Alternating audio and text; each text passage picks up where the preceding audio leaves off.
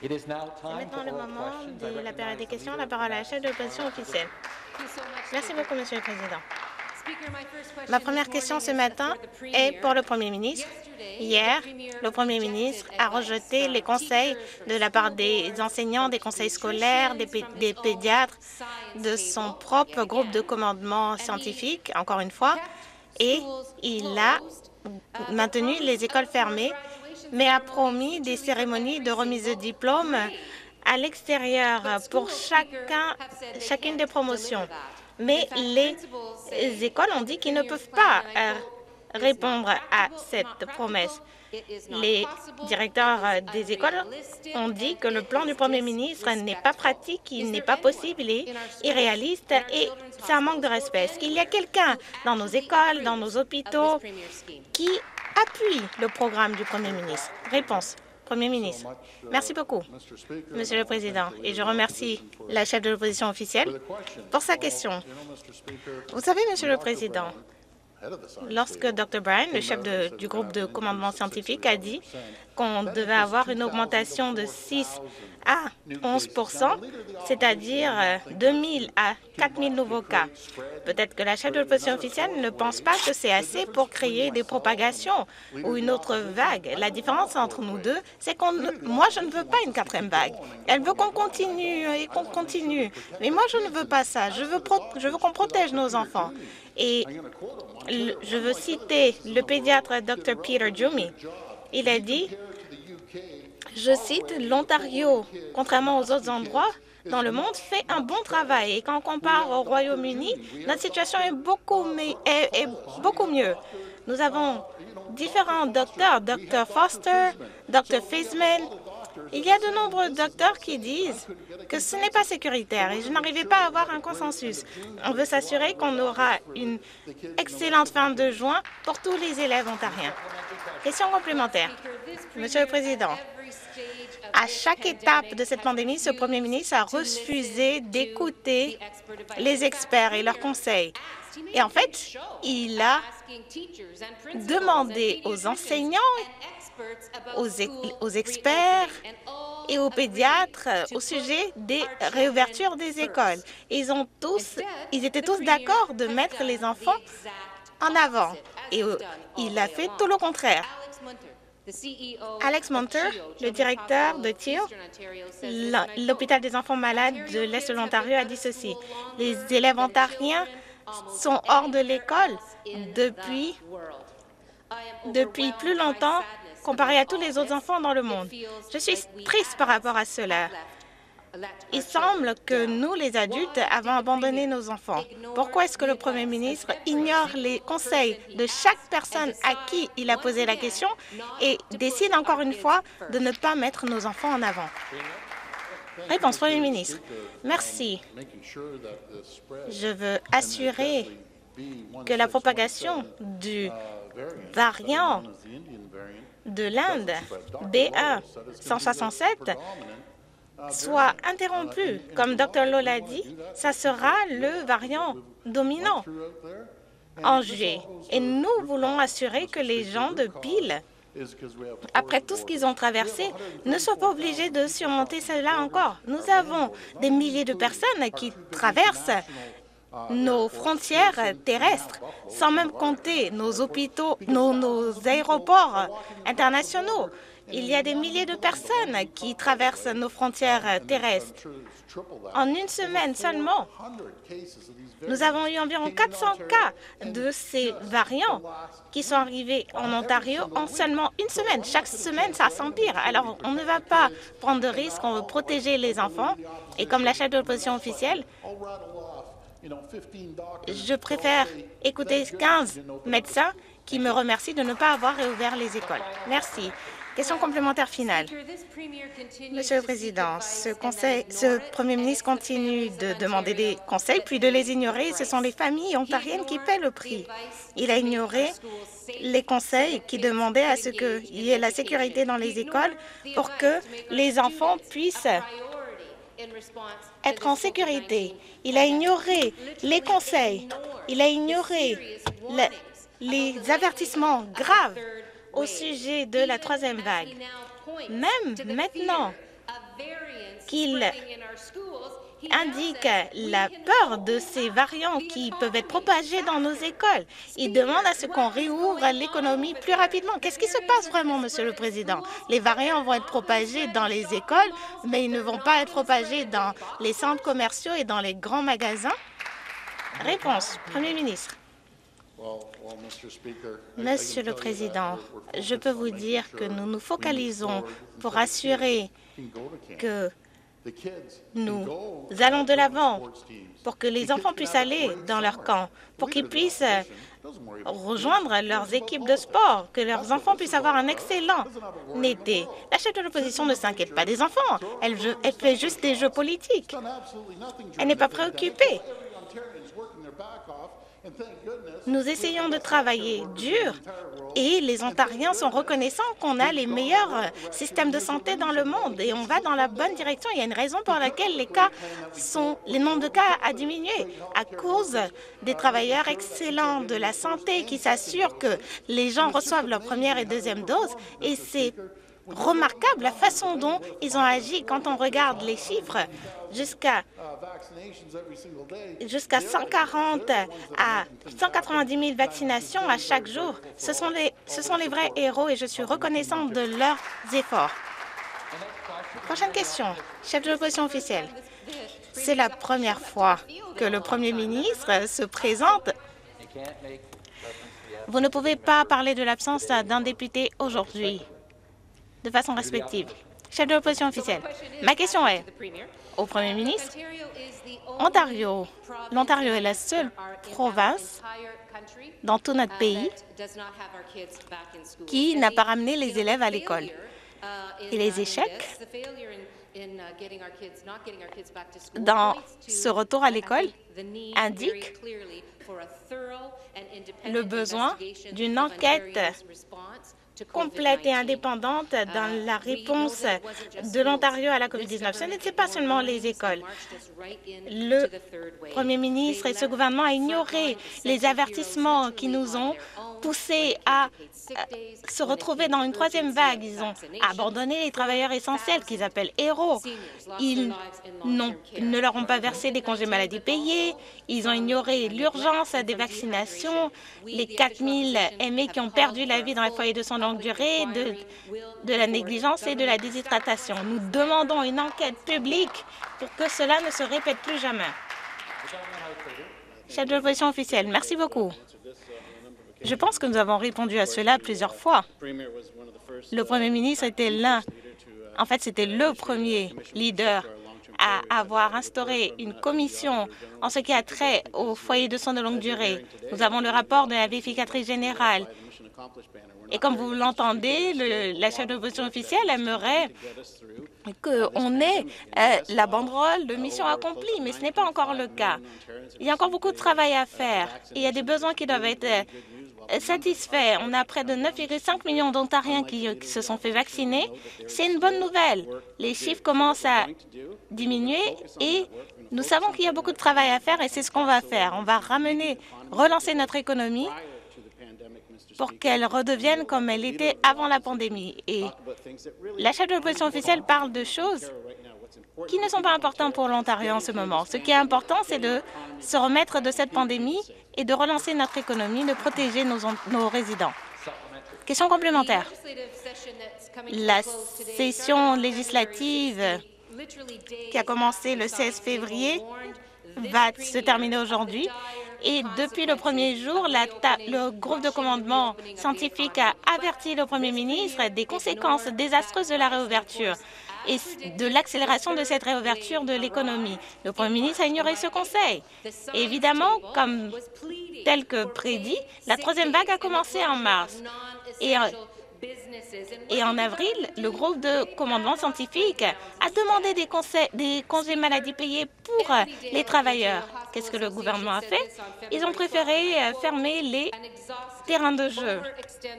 L'Association des hôpitaux de l'Ontario a dit ceci le 12 février. Nous sommes submergés, nous sommes éreintés. Le secteur de des hôpitaux est complètement submergé et nous devons gérer une troisième vague et ses conséquences. Est-ce que le gouvernement va commencer à prendre ses responsabilités et lancer une enquête publique pour que tout le monde en Ontario puisse savoir ce qui s'est passé pour ne plus, pour ne plus que cela se répète? Réponse, leader parlementaire du gouvernement. Merci. Je peux vous dire ce qu'on a fait. Nous savions lorsqu'on a été élu en 2018 qu'il y a un certain nombre de choses qui devaient être faites pour améliorer le secteur médical en Ontario. Nous avons hérité d'un système qui ne pouvait faire que 5 000 tests par jour. Nous avons augmenté cela à 75 000 tests. Nous avons hérité l'une des capacités du CI les plus faibles en Amérique du Nord. Et nous avons amélioré les choses. On a augmenté la capacité dans les UCI avant la pandémie, pendant la pandémie. On va continuer de le faire après la pandémie. Nous savions qu'il y avait beaucoup de travail à faire dans le, dans le secteur des soins de longue durée. Nous avons bâti 600 nouveaux. Ils ont bâti 600 nouveaux lits et nous, on en a bâti 30 000.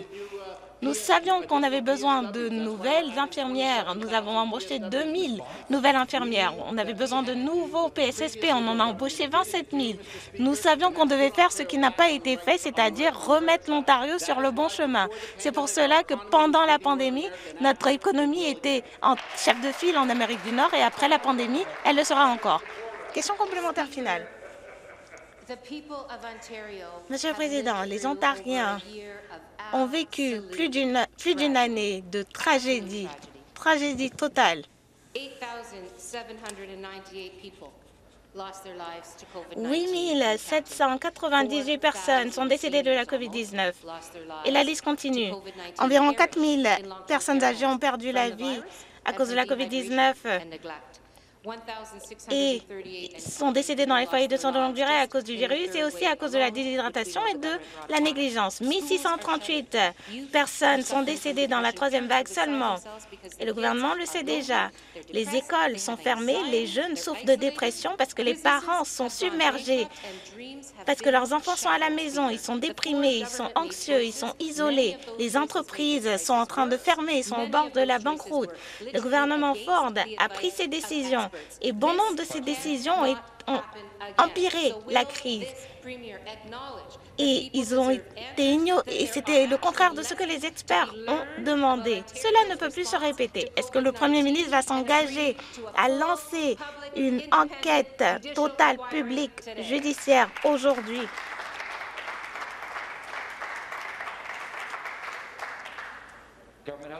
Leader parlementaire du gouvernement. Et voilà, la chef de l'opposition officielle veut déclarer la, victoire alors qu'il y a encore beaucoup de travail à faire dans la province de l'Ontario.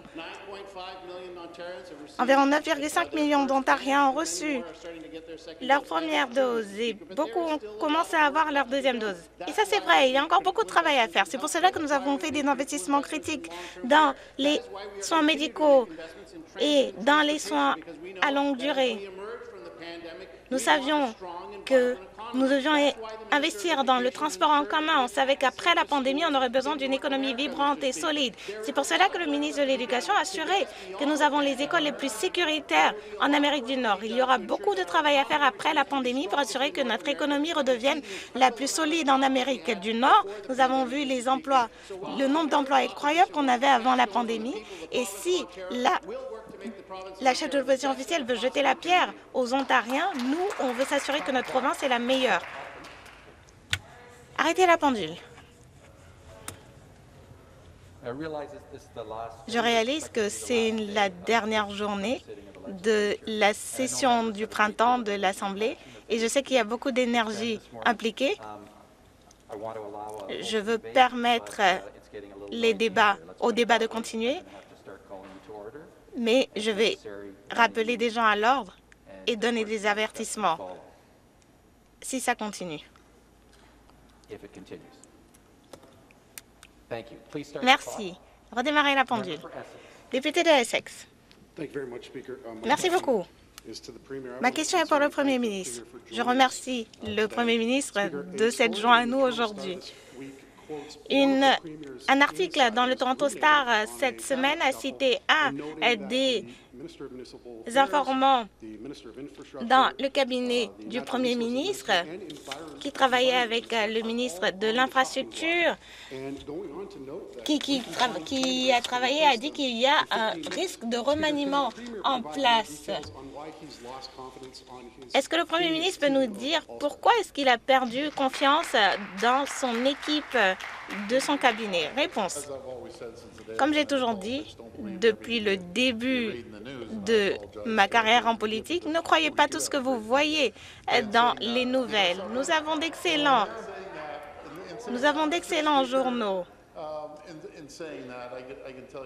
Mais cela étant dit, je n'ai, ça fait 30 ans que je suis en politique et je n'ai jamais vu une meilleure équipe, de meilleurs ministres, un meilleur caucus, nulle part. Notre équipe est la meilleure comparée à toutes les autres cabinets. Nous sommes une excellente équipe. Ils ont fait un travail incroyable. Numéro un, ils ont dû transformer le gâchis qu'on a hérité du gouvernement libéral qui a détruit notre province pendant 15 ans. Nous sommes en chef de file dans différents secteurs euh, en Amérique du Nord, que ce soit avant la pandémie, pendant la pandémie ou après la pandémie. Les gens auront un excellent, excellent à cause d'excellent leadership et du travail des héros de première ligne et notre excellent cabinet. Question complémentaire. Ce n'est pas clair. Qui est-ce que le Premier ministre consulte ces temps-ci? Peut-être que je devrais diriger cette question à Arthur, qui est la nouvelle superstar dans le cabinet des ministres du Premier ministre. Il semble que le Premier ministre veut blâmer tout le monde sauf lui-même pour les décisions désastreuses qu'ils ont prises. Il appelait son gouvernement le gouvernement All-Star et maintenant il est en négociation pour les remplacer. Est-ce que le Premier ministre est prêt à prendre ses responsabilités ou c'est la faute à tout le monde sauf lui? Réponse. Rappel à l'ordre. Premier ministre.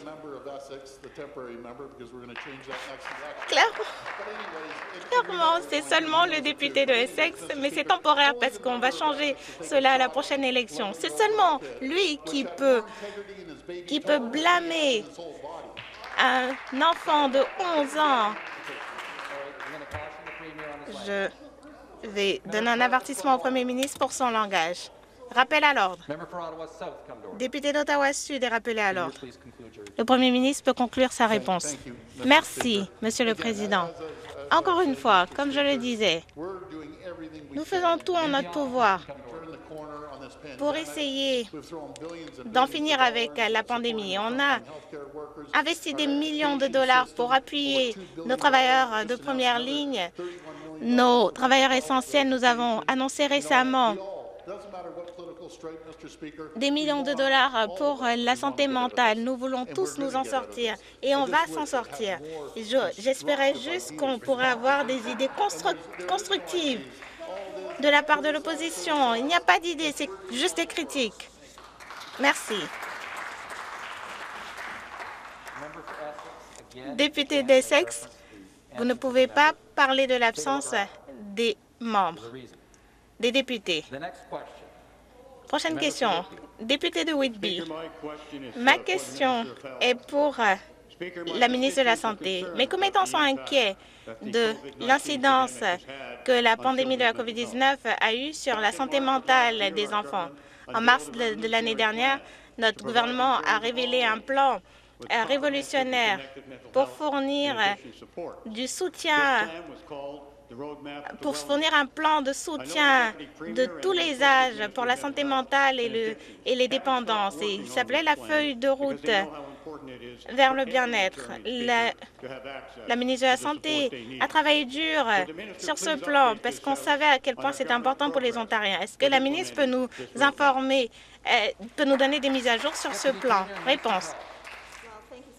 Merci et merci beaucoup au, député de Whitby pour cette excellente question et pour le travail excellent qu'il fait dans, la, dans sa circonscription de Whitby.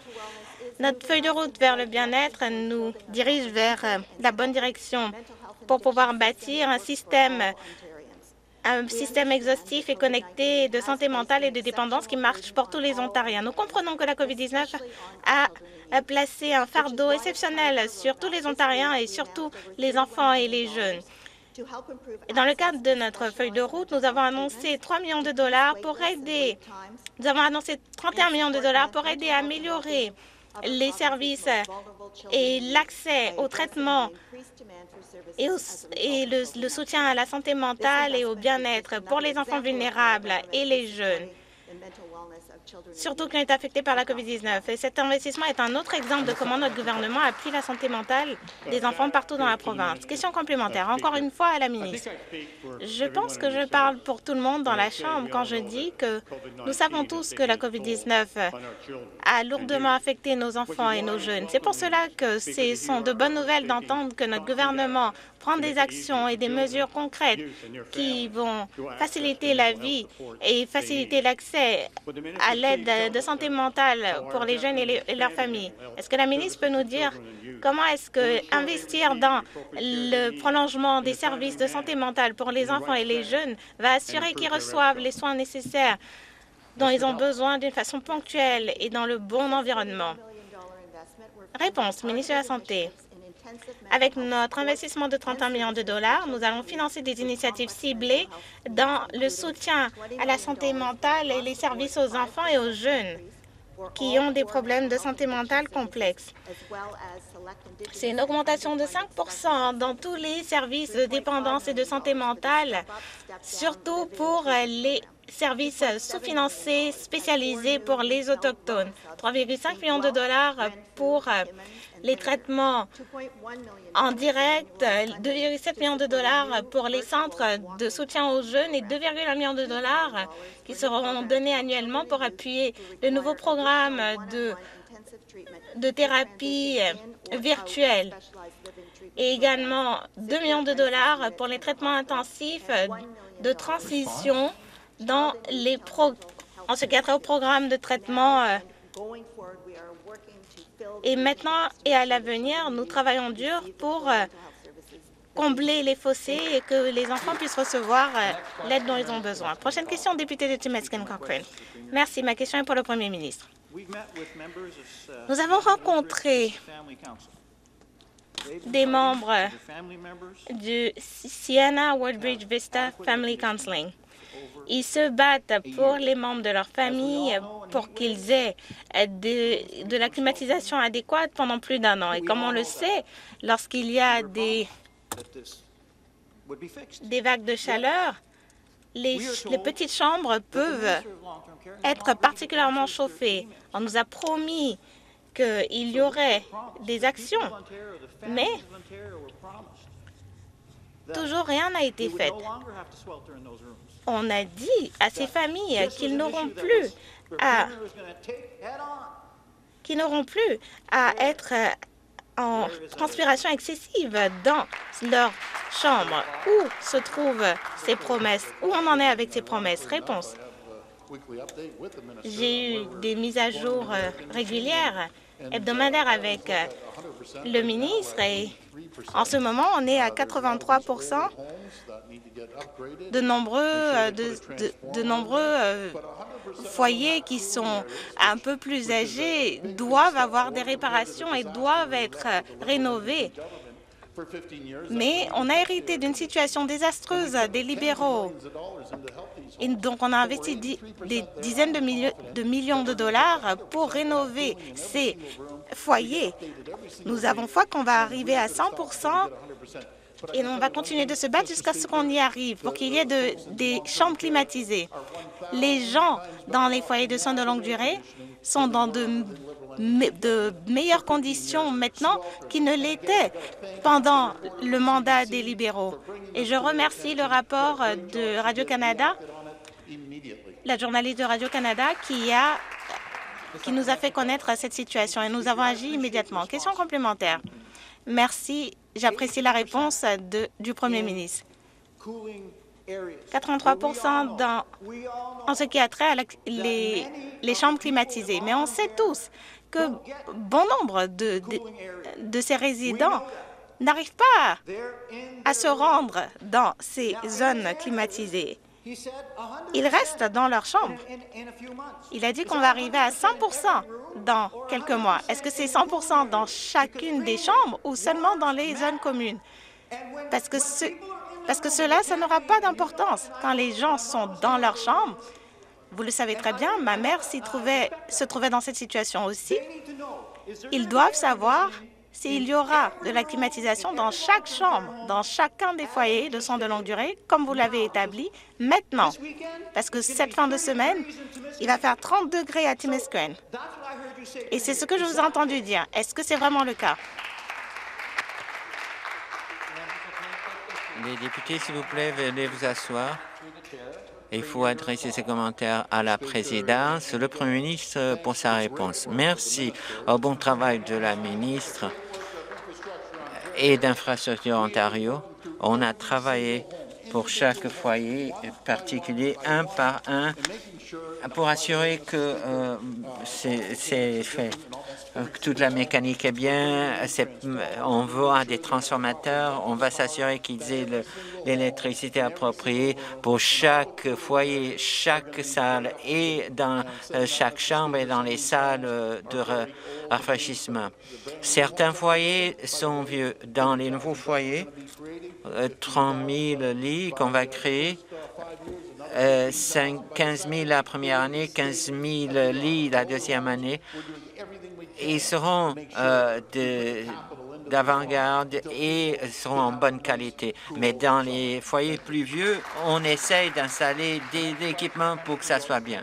Question suivante, député de Merci. Ma question s'adresse à la ministre de la Santé.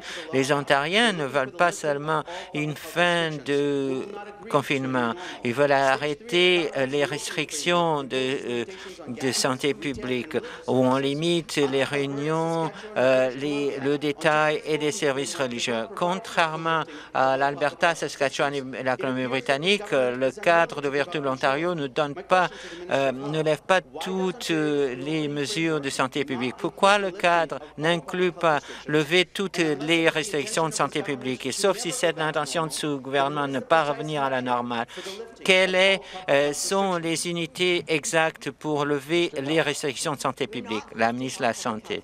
On ne lève pas toutes les restrictions de santé publique parce qu'on essaye de sauver des vies.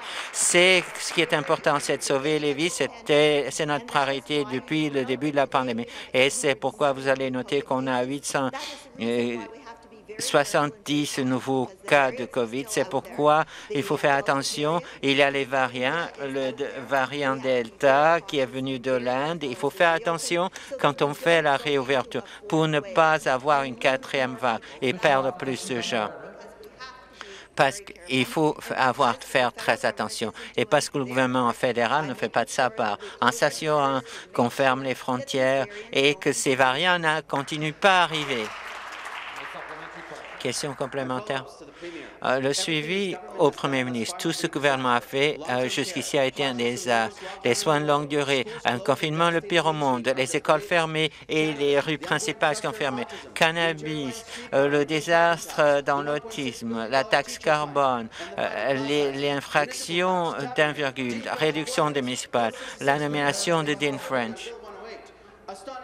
C'est étonnant un déficit et la baisse par Moody's. L'hôpital euh, Scarborough, pas de restriction dans les factures d'électricité ou d'assurance. Les autocollants qu'on ne peut pas voir. Je demande au Premier ministre pourquoi attendre une année avant que les électeurs le congédient? Pourquoi pas se démissionner aujourd'hui? La ministre du patrimoine, s'il vous plaît, le leader parlementaire du gouvernement. Écoutez, on a écouté ce député et il y a deux jours où il a dit que les votes qu'il pose ne sont pas importants, que l'Instagram c'est important. Ce qui est important pour la population, la loi sur le projet de loi 266 euh, sur les dépanneurs qui a été dépassé, la loi sur euh, les écoles secondaires, le projet de loi 228 du député de Paris Sound pour que les ne soit pas dans les lacs.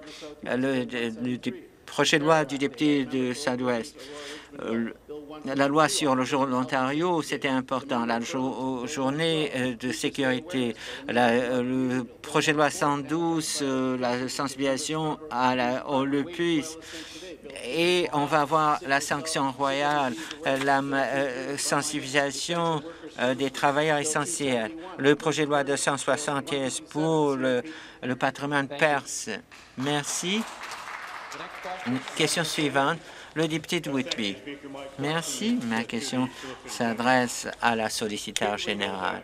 Monsieur le Président, nous savons que les mesures plus strictes de fermer les frontières vont arrêter la COVID-19.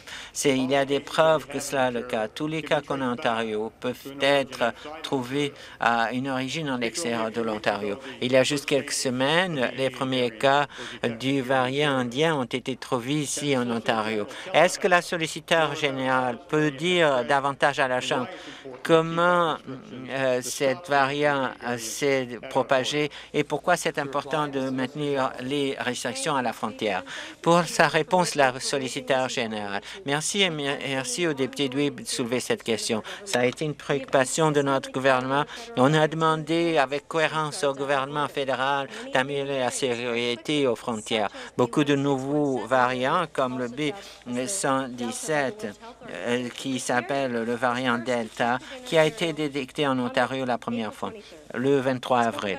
Je l'ai parlé de ça, mais que ce soit clair. Les chiffres sont encore plus élevés. Hier, à la date d'hier, l'Ontario avait 243 cas positifs de B1617. Par exemple, le docteur Lawrence Long a dit que le variant B1617 ainsi, 7 plutôt pourrait déplacer et prendre le dominant B117. On, connaît, on sait que ces variants euh, se propagent rapidement. Il y a plus d'autres 24 variants qui existent au monde qui ne sont pas en Ontario. Le gouvernement fédéral doit faire son travail et protéger nos frontières. Question complémentaire. Merci, Monsieur le Président. Et je reviens à la solliciteur générale. Nous sommes tous conscients comment le virus original de la COVID est arrivé. C'est avec les voyageurs. Nous savons que tout variant de préoccupation qui a rempli les euh, soins urgents euh, sont venus de l'extérieur de l'Ontario. Mais certains euh, nous font croire que juste quelques voyageurs infectés, c'est pas très préoccupant. Et que on suggère que du voyage, c'est moins de 2 des cas ici en Ontario. Ici, de cette côté de la Chambre, on a soulevé cette question plus de deux douzaines de fois dans les quelques dernières semaines, mais pas de réponse de l'opposition. Je reviens à la ministre. Est-ce que la solliciteur générale peut réaffirmer l'engagement de notre gouvernement de défendre les Ontariens et Ontariennes en ce qui a trait à la frontière? La solliciteur générale. Merci et merci aux députés de Whitby parce que l'opposition va pas, si l'opposition ne va pas poser ces questions, il faut qu'on on, s'assure que euh, le public sache ce qui est à risque. Notre gouvernement pose des gestes euh, concrets, mais pas seulement avec les frontières. Depuis sept jours, dans une semaine, on a vacciné presque un million de personnes. C'est pourquoi c'est très important. On a des records pour euh, le nombre de gens. Même avec une dose de vaccin, on sait que probablement on va pas vous voir aux soins intensifs. Les données démontrent que ceux qui ont reçu euh, au moins un vaccin euh, de, du vaccin contre la COVID-19 ne vont probablement pas recevoir des soins intensifs ou en avoir besoin. Alors, si vous n'êtes pas vacciné, prenez le temps pour vous faire vacciner. Mais le gouvernement fédéral doit faire son travail euh, de répondre à l'appel et imposer des mesures aux frontières euh, et donner aussi euh, l'occasion à que tout le monde se soit vacciné. Question suivante, député de Kiwitinuk. Miigwech, Monsieur le Président, ma question s'adresse au Premier ministre. Aujourd'hui, le leader, le chef euh, euh, néo-démocrate fédéral, Jack Mitzin, va demander à des gestes spécifiques, au gouvernement fédéral pour avoir la justice et la paix aux peuples autochtones qui sont blessés après la découverte des, euh, des restes de 215 enfants à Kamloops au pensionnat. Il faut avoir des actions tout de suite, sinon la réconciliation c'est juste un mauvais dessin. Et le gouvernement provincial va rejoindre nos appels aujourd'hui pour le gouvernement fédéral de soulever ce recours juridique contre les, Premières Nations et demander à ce que le gouvernement fédéral euh, laisse tomber sa bataille contre les survivants de l'école euh, du fonctionnaire de Sainte-Anne. Réponse, le leader parlementaire gouvernement. J'apprécie la question du député d'en face et bien sûr toute la semaine.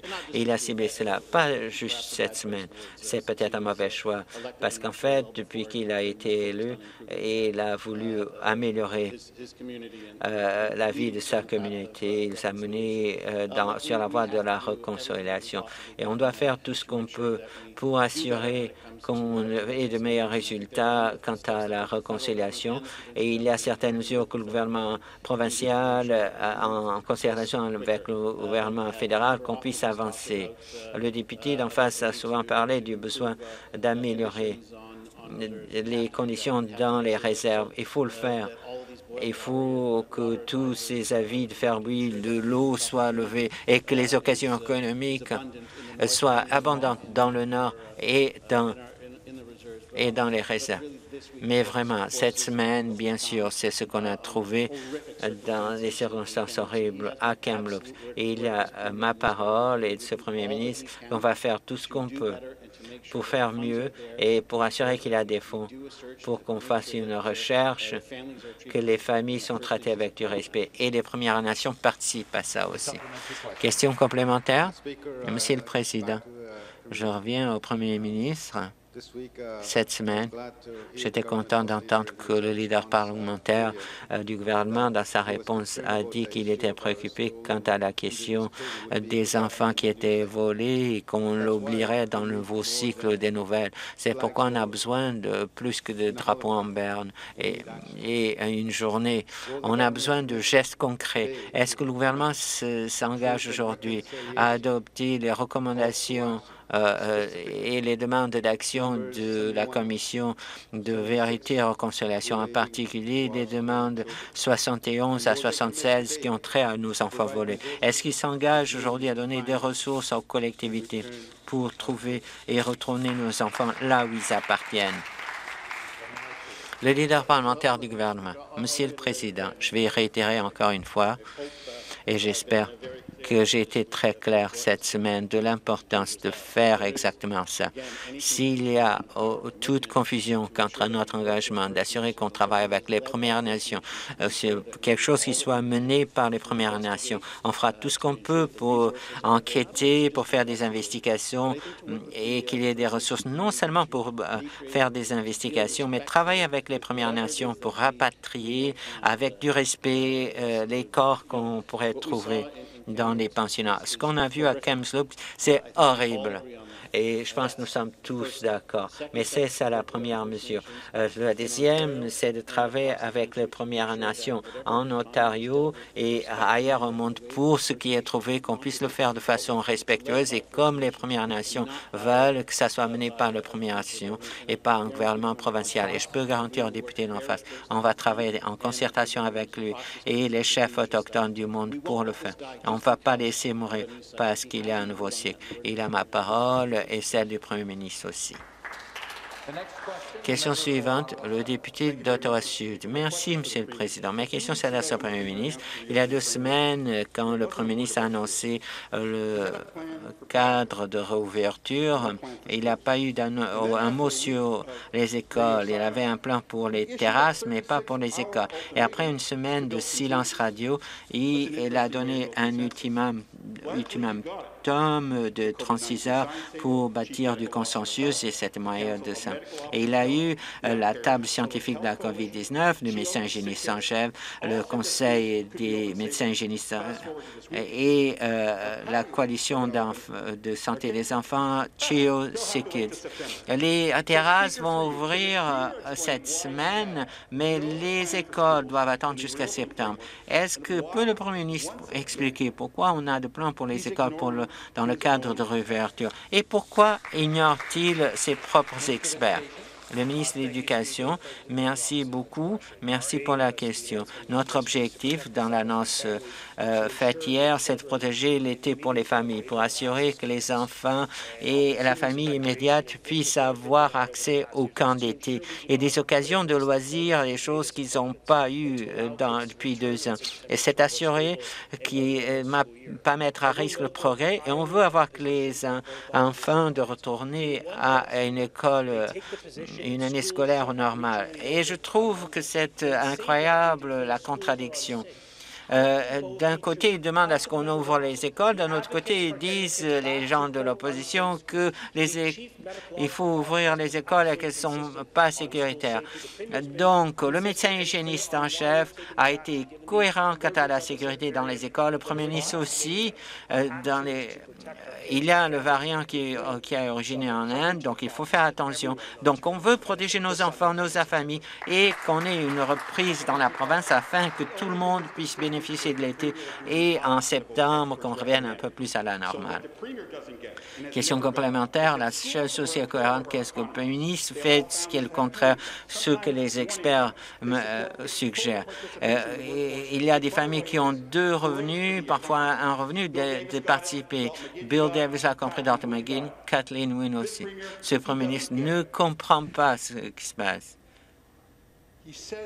Il dit qu'il a un plan pour les écoles cet automne, les familles, les éducateurs. Oui, ils ont entendu l'été dernier. Nos enfants ont besoin d'un plan pour la réouverture sécuritaire des écoles. Jusqu'ici, il n'y a pas de preuve et on n'a pas besoin d'une décision à la onzième heure comme on a vu l'été dernier. Monsieur le Président, si les écoles sont tellement importantes pour les familles, quand est-ce que les euh, enfants, euh, les éducateurs éducatrices et les familles des enfants s'attendent à voir ce plan robuste que le Premier ministre a mentionné de retour aux écoles à l'automne. Le ministre de l'Éducation, comme on a annoncé et confirmé hier, comme le plan pour cet an, tout étudiant de 12 ans et plus dans cette province qui veut un vaccin peut l'avoir. Aussi bien tous les jeunes dans le domaine de l'éducation, les travailleurs, les enseignants et tout le monde.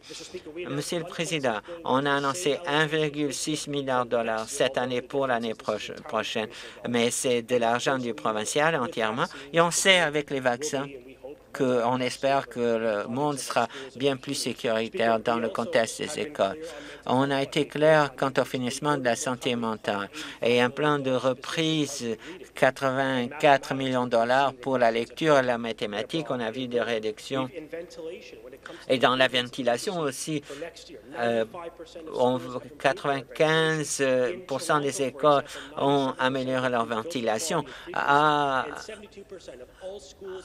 Toronto, par exemple, 97% des écoles ont eu plus de fuites, 72 de la province ont changé leur système de climatisation et de chauffage central. Et donc, on veut que les enfants soient à l'école et qu'on ait une reprise comme il faut. Question suivante, le député de Whitby.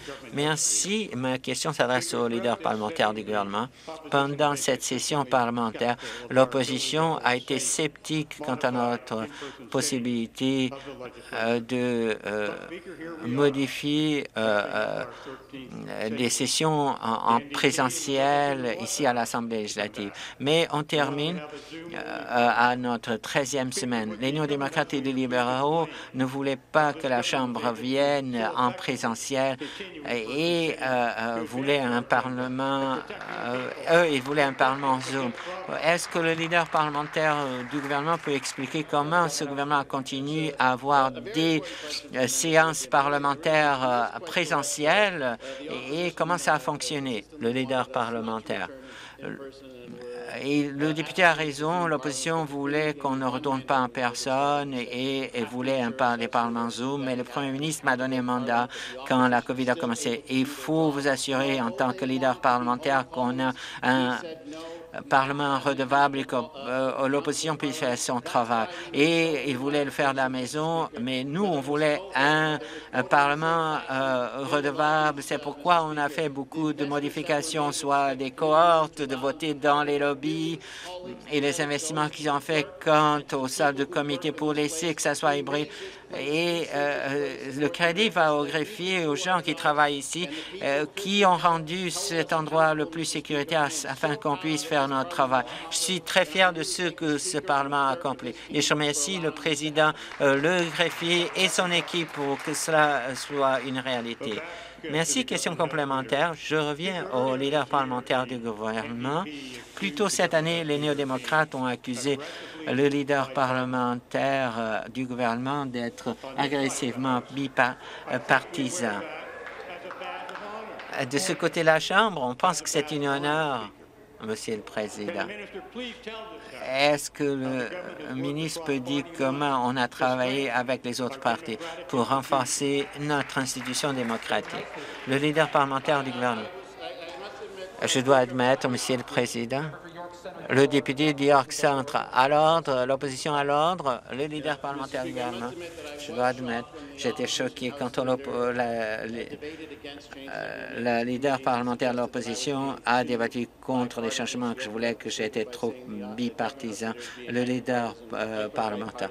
Il est hyper bipartisan. Mais voici ce qu'on a fait. On a ajouté du pain, du temps pour les projets de loi émanant de députés. On a introduit des mécanismes pour avoir plus de débats, de nouvelles formes de débat et plus de réunions de comités en créant des débats exploratoires pour attirer l'attention à des questions importantes. On a eu du parti, du soutien d'autres partis euh, pour la canalisation 5. On a adopté une motion pour construire un mémorial pour l'Holocauste ici à Queen's Park. On a éliminé l'utilisation d'attribution de, temps. On a accéléré le processus de budget de dépenses pour assurer la redevabilité et la surveillance on a animé le docteur Kirmo en tant que médecin hygiéniste en chef.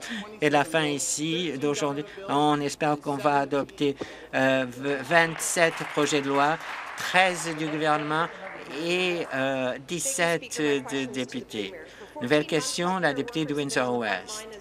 Ma question s'adresse au premier ministre. Depuis 14 mois, les travailleurs en santé ont été en première ligne pendant que la pandémie euh, était dans notre province. Ces travailleurs, plutôt des femmes, pour la plupart, qui ont bataillé contre la COVID-19 et ont essayé de maintenir en sécurité. Les syndicats qui représentent ces travailleuses, et je cite, le personnel en soins de santé a euh, répondu à l'appel, a donné des soins à un coût personnel quand il y a l'inflation. Les revenus sont réduits pendant que les policiers, les pompiers et, d'autres euh, professions où il y a surtout des hommes ont eu des salaires augmentés.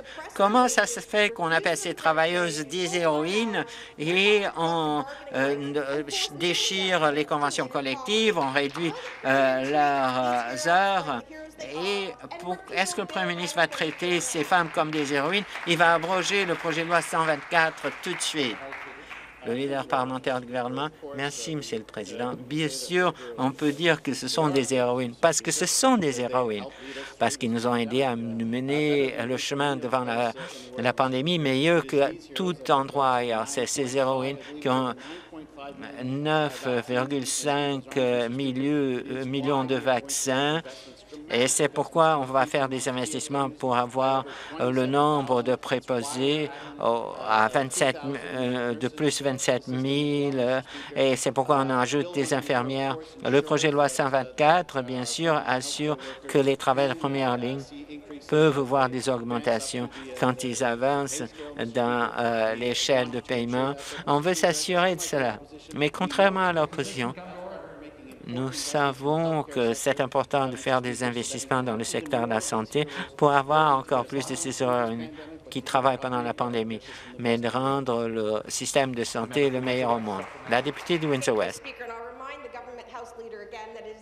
Merci. Et je rappelle à la leader parlementaire du gouvernement, ces femmes, ces héroïnes, c'est leur euh, droit que vous avez de conventions collectives, que vous avez refusé de ce congé maladie payé. C'est ces travailleuses euh, qui sont importantes.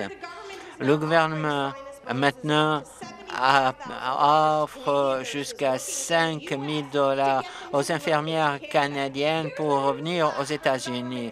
Euh, nouvelle pour le gouvernement. Les Canadiens ont laissé, continuent à laisser pour travailler aux États-Unis parce que ce gouvernement et les libéraux avant refusaient de donner des arts stables de, de paiement juste, des congés maladie payés permanents, les infirmières ont dit depuis des années qu'ils ont besoin des heures à plein temps et des salaires justes. Si les conditions de travail ne changent pas de façon permanente pour les infirmières, aucune bonification pour signer un contrat va aider. Plutôt que de trouver des solutions à court terme, est-ce que le Premier ministre va aider ces infirmières de première ligne, démontre le, monde, le respect et va abroger le projet de loi 124? Leader parlementaire du gouvernement. Merci, on se fait décider de pas. On fait le travail pour nos travailleurs et travailleuses de première ligne. C'est intéressant d'entendre l'opposition maintenant. Mais bien sûr, on sait qu'entre 2011 et 2014, l'opposition a eu l'occasion de faire à ce qui était un gouvernement libéral désastre. Qu'est-ce qu'ils ont décidé? Ils l'ont maintenu au pouvoir. Et qu'on parlait des soins de longue durée, non. Des transports et des transports en commun, non. Des métros, non. Est-ce qu'ils ont parlé des soins de santé? Non. Des salaires pour les proposer, non. Est-ce qu'ils ont embauché de nouvelles infirmières? Non. Est-ce qu'ils ont... Qu'est-ce qu'ils ont fait? Ils ont ont accepté euh, un objectif optimiste pour l'assurance automobile. C'est ce que les, néo-démocrates font. Ils disent de belles paroles, mais pour accomplir quelque chose, ils fassent rien. Et c'est pourquoi euh, la population de l'Ontario, on leur a donné juste une fois l'occasion de gouverner, ils ne leur donneront plus l'ordre. À l'ordre, s'il vous plaît la chef de l'opposition, le leader parlementaire du gouvernement. À l'ordre, s'il vous plaît. La députée de Scarborough-Guildwood a la question suivante. Ma question s'adresse au Premier ministre. Rapport euh, du Bureau de la responsabilité financière a dit que la plupart des places créées dans les services de garde pour l'enfant, c'était des, plans euh, libéraux avant. Le gouvernement euh, euh, provincial a créé juste 900 places en 2019, avant que la pandémie. les soins des enfants sont importants et la récession donc en est c'est une euh, récession euh, au féminin. Sans des investissements dans les services de garde d'enfants, on ne va pas avoir des femmes dans euh, la main-d'œuvre en Ontario. En fait, les femmes sont en retard de 15% avant la pandémie. On ne va pas sortir de cette récession si on revient à l'investissement de ce gouvernement de 2019 pour les services de garde. L'économie ne peut pas avoir de la croissance s'il n'y a pas de soins de garde euh, d'enfants.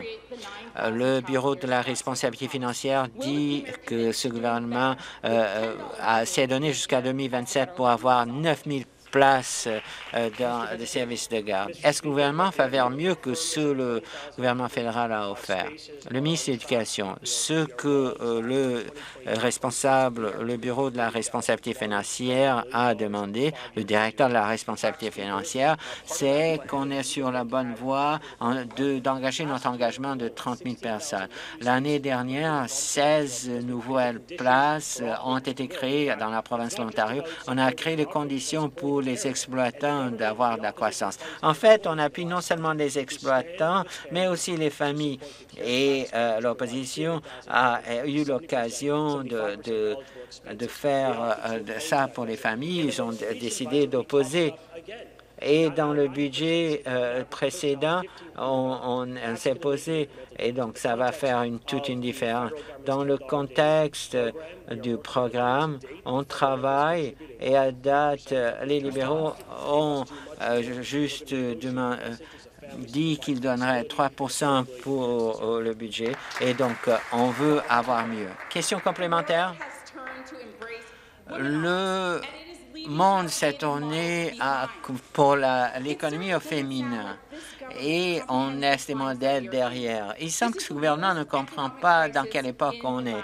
On a la crise économique la pire depuis 100 ans et la partisanerie ne s'applique pas. Monsieur le Président, l'apprentissage en ligne et le manque de services de garde réduit la participation euh, des femmes dans le marché du travail quand on regarde les chiffres pendant la pandémie et si on change en disant qu'on ne peut pas se permettre euh, et euh, plutôt si on dit qu'on ne peut pas se permettre de ne pas investir, c'est impératif.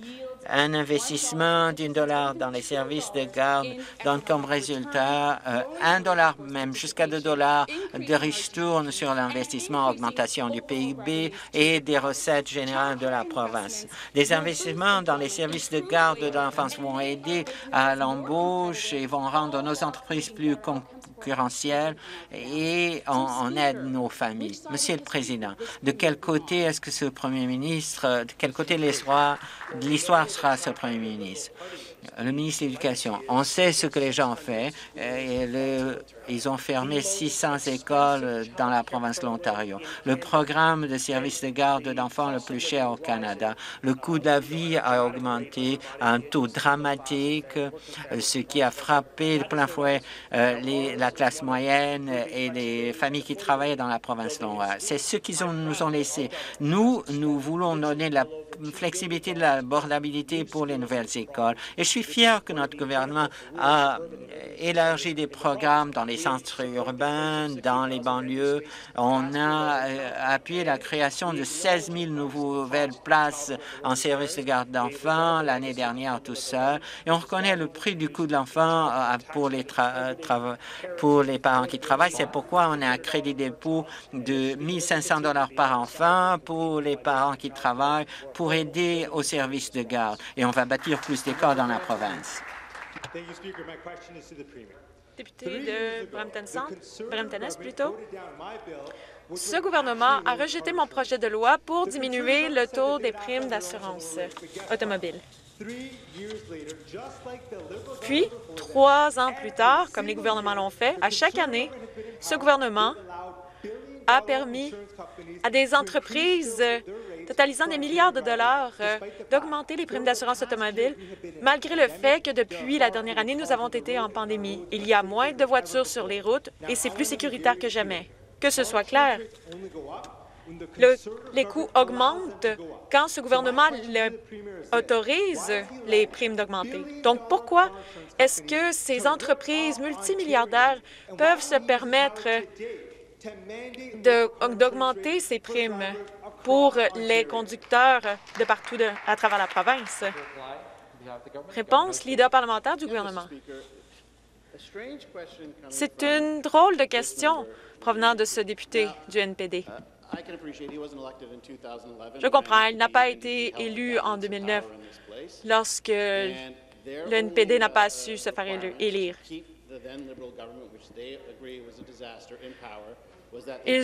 les libéraux euh, se sont retrouvés au pouvoir et cela a été un désastre. En 2011, le taux, les taux d'assurance ont augmenté. En 2012, encore une fois, le NPD a gardé les libéraux au pouvoir.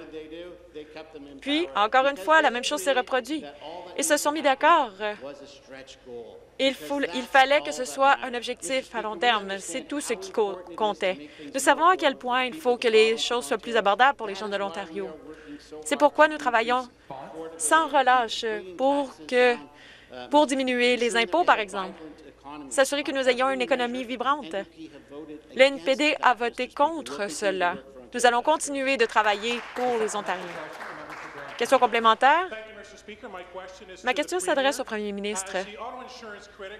En tant que porte-parole de l'opposition pour les assurances, je m'assure que ce gouvernement travaille avec moi pour diminuer le, taux des assurances.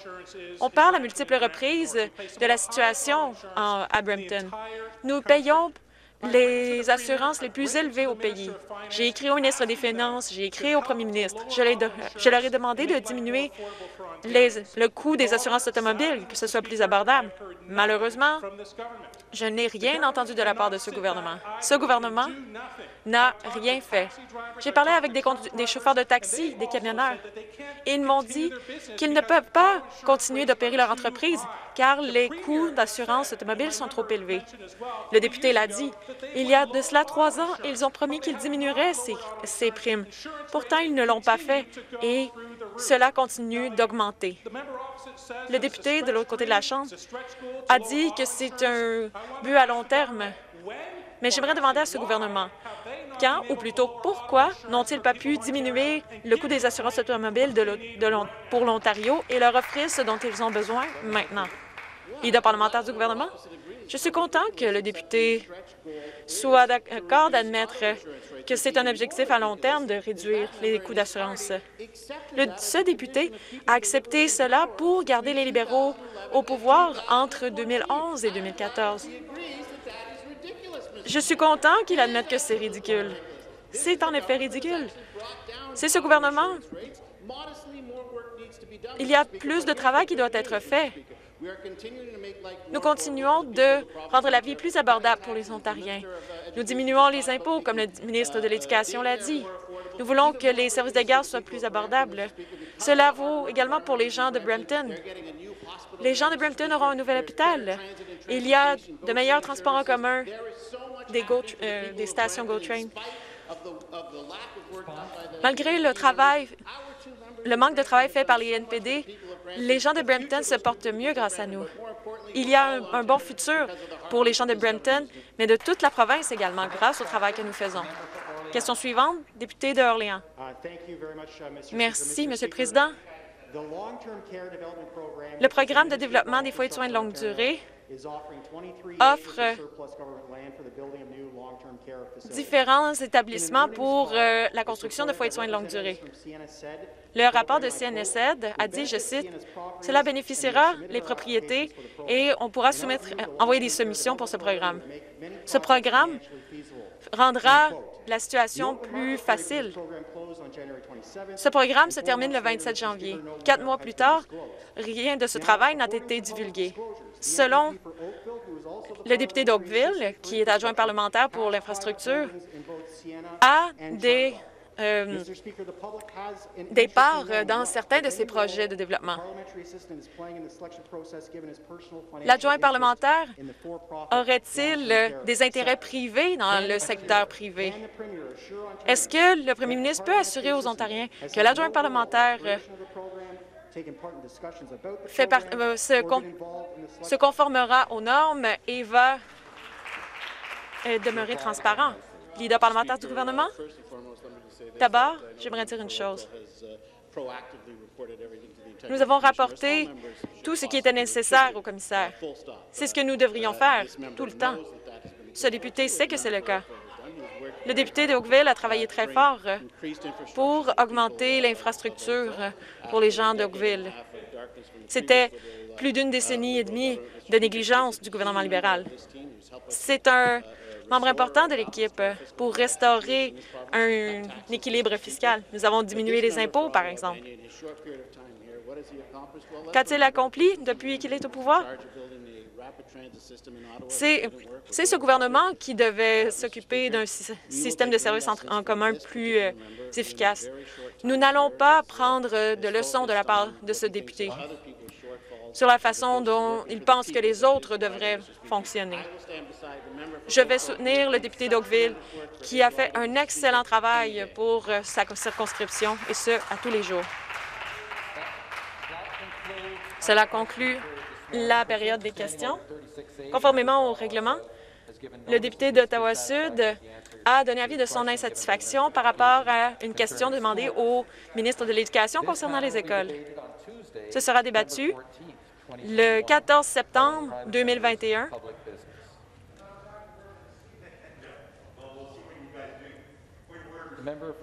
Député d'Ottawa-Sud pour un rappel au règlement?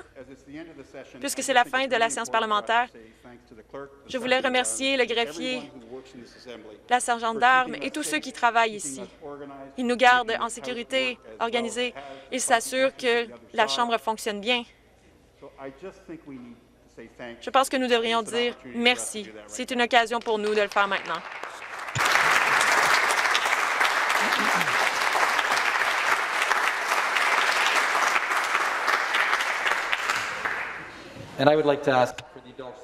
Moment. Lors de ma première année en tant que président, j'aimerais remercier les employés de l'Assemblée. J'aimerais reconnaître le, travail des députés et des commettants. L'année dernière, la situation a, a changé drastiquement. Nous sommes demeurés unis dans notre foi pour l'Ontario. Encore une fois, nous sommes à la conclusion d'une session parlementaire C'est la fin de cette année parlementaire. J'aimerais remercier encore une fois tous ceux qui ont travaillé de façon acharnée pour que nous puissions nous rencontrer en sécurité en Chambre. Qu'ils travaillent ici ou à distance, les employés de l'Assemblée législative ont été intègres, inclusifs et ont travaillé avec excellence. C'était ainsi pour servir le Parlement. Il y a eu beaucoup de euh, situations amenées en Chambre. J'aimerais remercier tous les députés pour leur passion, leur persévérance et leur service. Nous travaillons ensemble pour bâtir un meilleur futur pour l'Ontario. Nous ne savons pas avec certitude ce que, ce que l'avenir nous réserve. Mais nous allons continuer de nous rassembler malgré la distance. Nous allons continuer de militer pour la vaccination et regarder ce que nous avons réussi à accomplir. J'espère que nous pourrons rencontrer nos amis, aller au restaurant, voir des concerts et peut-être même voir la partie des Leafs. Il y a toujours l'année prochaine, sinon. Je vais continuer de travailler pour ma circonscription et pour mes commettants. J'ai hâte de voir ce que nous allons accomplir dans l'année suivante. Grâce à la résilience, la compassion, la patience, le courage et la gratitude qui nous a réunis. J'espère que ce sera multiplié alors qu'ensemble, nous allons rendre l'Ontario plus fort, plus prospère et plus juste. Prenez soin de vous. Restez en sécurité. Merci.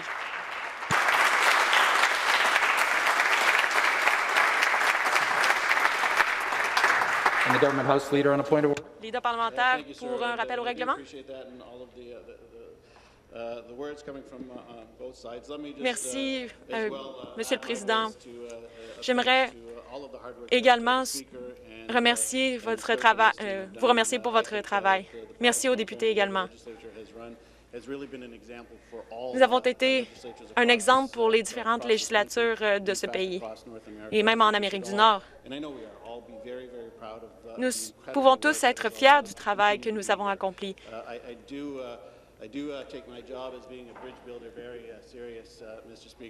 Je prends mon travail très au sérieux. J'aimerais donc remercier l'opposition, le WIP uh, et toute um, l'équipe.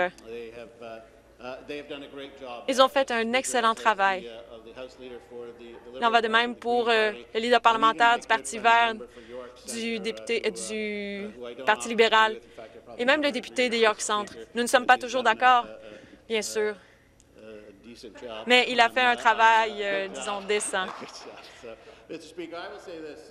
J'aimerais dire une chose. Ce fut une période très difficile.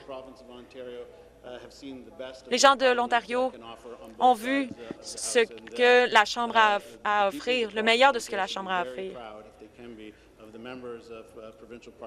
J'espère qu'ils sont fiers des députés du euh, Parlement provincial qui travaillent pour eux.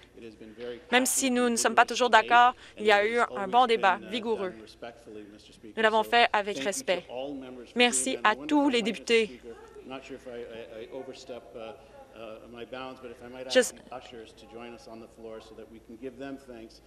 J'aimerais, et j'espère que vous avez le droit, j'aimerais que vous joigniez à nous, Monsieur le Président, il y a le programme des pages également, qui n'est pas en cours depuis un certain nombre de mois. Mais ils travaillent en coulisses, ils font un, excellent travail. Donc, j'aimerais que les pages euh, puissent euh, venir euh, ici en Chambre. Accepter? Accepter.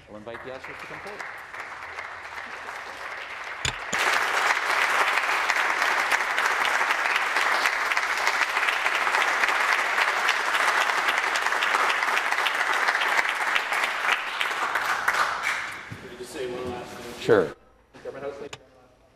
Uh, J'espère, Monsieur le Président, que ces mesures temporaires que nous avons mises en place seront terminées au mois de septembre et que nous aurons un vrai retour avec tous les députés en Chambre, que la galerie soit remplie et que nous n'aurons plus besoin de porter ces masques. Je vous souhaite euh, un bel été en sécurité. Député de Timiskaming Cochrane, rappel au, rappel au règlement. Je suis reconnaissant envers tous les mots qui ont été dits. Je ne vais pas tout répéter. Mais j'aimerais également remercier les gens que nous ne voyons jamais. Les gens de la sécurité qui me posent les mêmes six questions à chaque matin.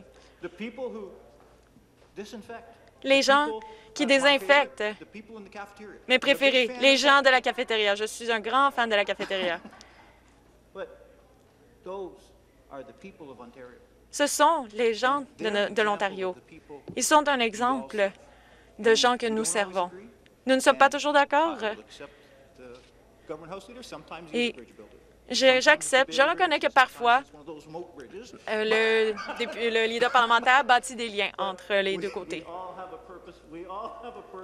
Nous avons tous un but à servir. Nous le faisons tous au meilleur de nos compétences. C'est notre travail de servir ces gens. Je pense que nous faisons tous de notre mieux. Merci d'avoir été notre arbitre. Merci à tous. Merci beaucoup.